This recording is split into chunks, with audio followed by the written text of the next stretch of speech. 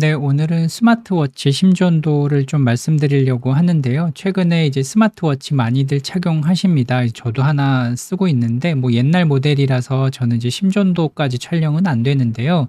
이제 부정맥이 있는 분들 같은 경우에는 이제 관심들이 많습니다. 그리고 최근에는 이제 가지고 있는 심전도를 촬영을 하셔가지고 진료 보실 때 가지고 오시는 분들이 꽤 많습니다. 그래서 이게 실제 병을 진단하는데 얼마나 도움이 되는지 말씀을 드리려고 하고요. 실제 쓸 수 있는 것들 상당히 많습니다. 여기 보시는 것처럼 이런 워치들 이름만 대면 알만한 이런 워치들도 있고 이렇게 반지입니다. 요건 손가락에 끼는 반지 형태도 있고요.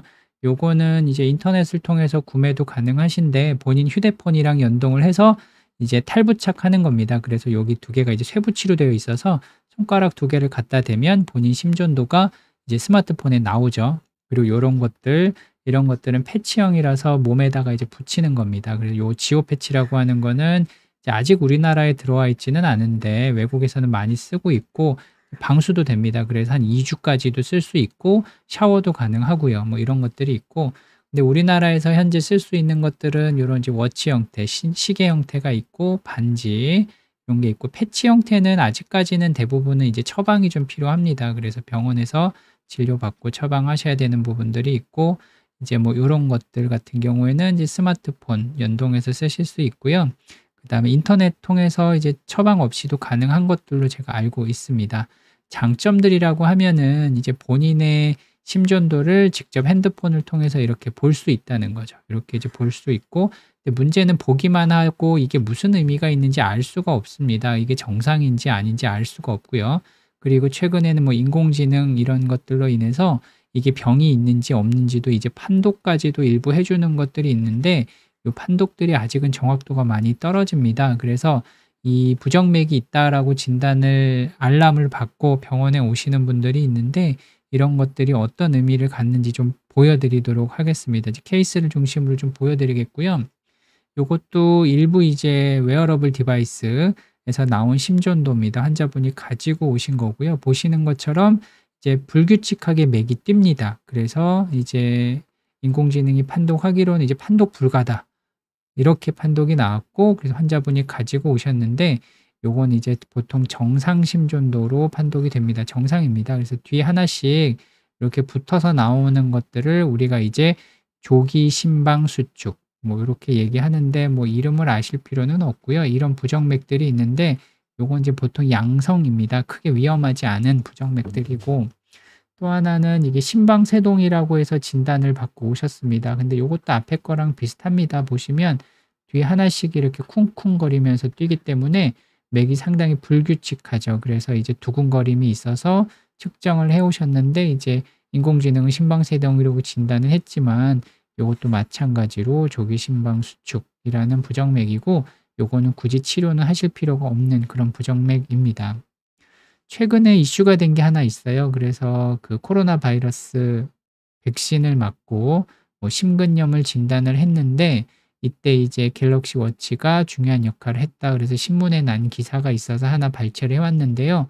갤럭시 워치에서 이제 부정맥, 특히 이제 심방세동이 있다라고 이제 진단을 했고 환자분은 이제 그것을 보고 병원에 가셨는데 다행인지는 모르겠지만 이제 심근염을 조기에 진단을 해서 치료를 하셨다고 합니다. 근데 문제는 심방세동이라고 진단이 된 알람을 보면 이게 심방세동은 아니고요. 보시는 것처럼 여기에 이제 정확하게 신호들이 잡힙니다. 근데 이게 작게 나오기 때문에 아마 시계가 인지를 못한 것 같고요. 그래서 요건 심방세동은 아니고 정상 맥박입니다. 보통 정상 맥박인데 이제 시계가 아무래도 잘못 판독을 해서 심방세동이다라고 진단을 한 것 같고 요것 때문에 병원을 가셨는데 이제 요걸로 인해서 이제 심근염을 조기에 진단하는 긍정적인 효과를 얻으신 거죠.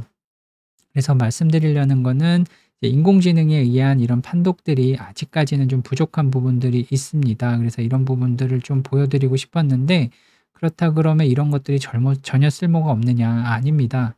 실제 다른 분 사례를 하나 보여드리겠는데요.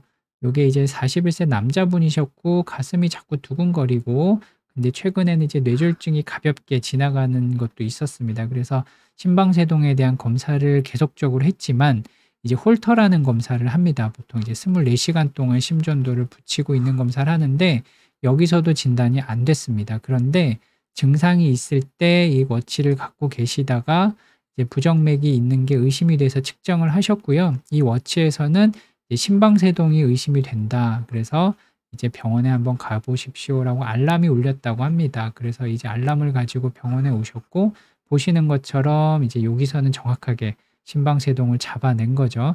그래서 환자분들은 이, 이 환자분은 이후에 약을 바꿨고요. 그래서 아마도 뇌졸중이 생길 확률이 많이 낮아졌을 걸로 추정이 됩니다. 요즘도 병원 다니면서 큰 문제 없고요. 그래서 이분은 이제 시계를 착용함으로써 이제 심방세동이라고 하는 그 중요한 부정맥을 조기에 진단을 하셨던 케이스죠. 그래서 아직까지는 이제 심방세동을 진단하는 데 있어서 이런 wearable device가 부족한 부분들이 좀 있습니다. 하지만 그 증상이 있어서 계속적으로 측정을 해도 병원에서 진단이 안 되는 분들은 일상생활에서 스마트워치 착용하는 것이 아주 많은 도움이 됩니다. 그래서 증상이 있을 때마다 이제 체크를 하셔서 병원에 가지고 오시면 되고요. 다만 아직까지는 이제 정확도가 높지 않습니다. 그게 특이도라 그러는데 병이 있을 때 병을 진단하는 확률은 높지 않습니다. 하지만 현재 이제 wearable device가 병이 없다라고 정상이다라고 진단을 하면 그 경우에는 대부분은 정상입니다. 하지만 병이 있다라고 얘기했을 때 실제 그게 병일 확률은 그렇게 높지는 않은 것 같아요. 그래서 일단은 반드시 확인을 하기 위해 병원에서 체크를 하시는 것이 중요하고요.